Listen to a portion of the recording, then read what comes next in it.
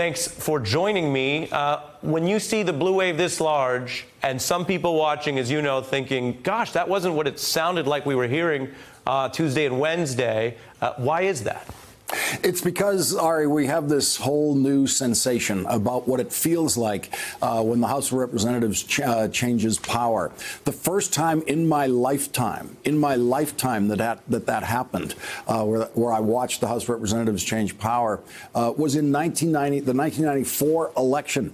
Uh, for 40 years, 40 years before that, the Democrats controlled the House of Representatives, and there was every reason to think they were going to control the House of Representatives forever ever since 1994, we've seen the House now go back and forth and, and in relatively short spans of time compared to the older pattern. Mm. And so people have started to get the idea that it is easy to win the House of Representatives. Right. It is the hardest thing you can do in politics by far, especially when uh, the party in power is capable of the kind of gerrymandering we've seen. Right. This is really 21st century gerrymandering. Remember, and when they were trying to do, when Democrats were trying to gerrymander the House, as they were uh, in areas where they were in control of uh, in the in the 20th century. They didn't have computer modeling. They, did, they didn't have all of the assets and all of the incredible micro data about the individual voters who live in the different neighborhoods as they were carving those things up.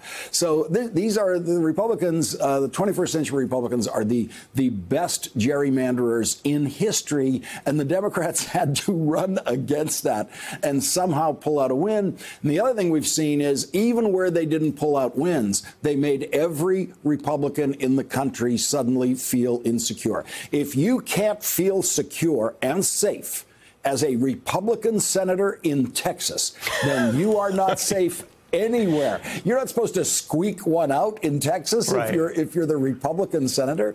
Uh, you're not supposed to you know be in any kind of tight race as a Republican running statewide in Georgia. There's not supposed to be any right. tension in any of that.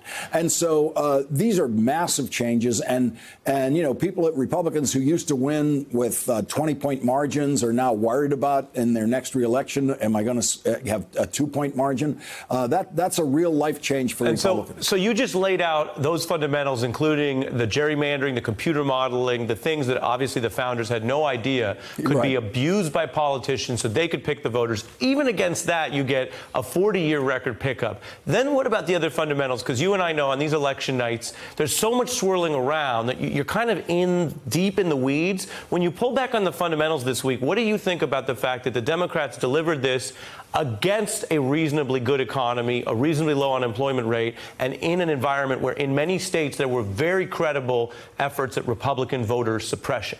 Well, that the economy is kind of the, the biggest ignored component of this whole thing.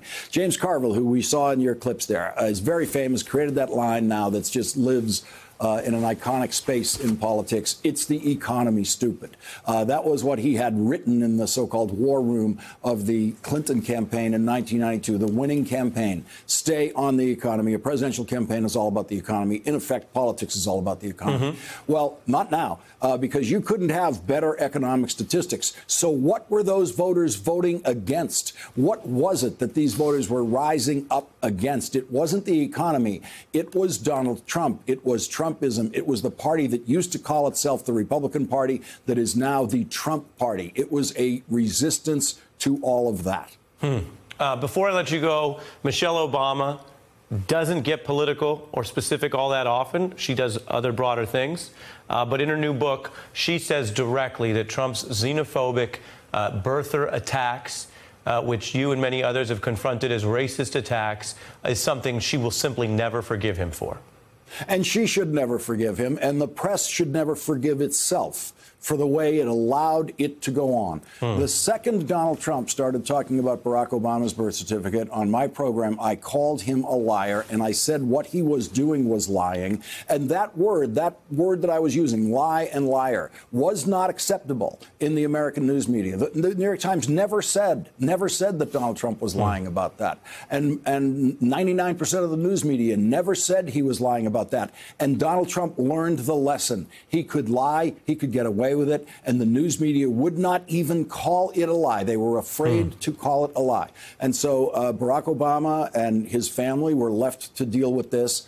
uh, versus the crazy Trump machine, and uh, and and it was the it was the lie that ignited the entire raging madness of Trumpism that we live with now. And I, I blame the news media for Hmm. failing to confront the foundational lie of Trumpism about that birth certificate. Well, look, you've served in government, uh, you've embedded into the media, obviously, but I, I think it's useful for us to consider as we look at these problems. One of the themes across everything we just discussed is what happens if the media gets pulled along or becomes an agent uh, of intolerance or lies, because that is a problem then for civil society.